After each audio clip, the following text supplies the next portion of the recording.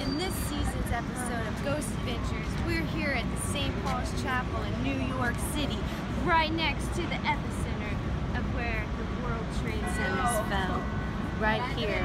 This building, historically, has been standing since 1776 and has surpassed all of these horrible tragedies.